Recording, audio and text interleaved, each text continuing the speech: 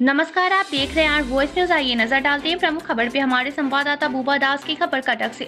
कटक दरगाह बाज़ार police station में bike लूटने वाले गिरोह के चार सदस्य को आईआईसीपी के जेना ने गिरफ़्तार किया है। जी हाँ, उनके पास से आठ बाइक भी जब्त की गई हैं।